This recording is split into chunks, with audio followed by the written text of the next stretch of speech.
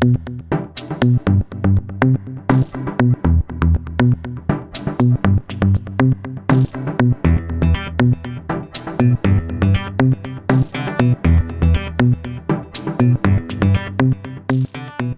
Hannafin, you are the senior advisor for the company Kitz, and you can tell me what you've been doing for the environment because I know Kitz is really on the forefront concerning this topic.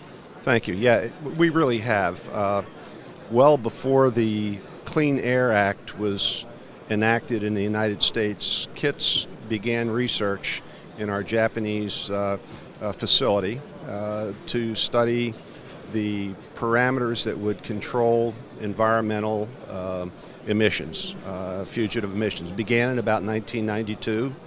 We did a tremendous amount of uh, experimentation, changing some of the tolerances and finishes in our equipment to achieve the results that we have today, which today it's a 50 part per million maximum emission level, which is about 10 times below the United States federal mandated level of 500 parts per million.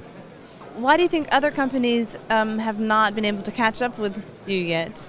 Well, I don't think that's totally uh, accurate. I think a lot of companies have. There are some very, very good valve manufacturers out there that have achieved, uh, uh, you know, acceptable emission levels. We happen to think that we have led that uh, uh, effort and, and our performance in emissions because we have put the time and the work in to, to study it. Uh, but Uh, again, that's, that really is a good question because there are some claims out there that they have low emission valves, but I, I think they're just claims. I don't think they can be backed up.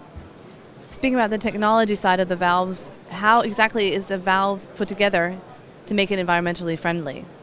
well, you know, you, as you can see, we have a, a valve here that's it's a gate valve and the stem it rises and comes through the packing. The packing seals anything that's going to the atmosphere.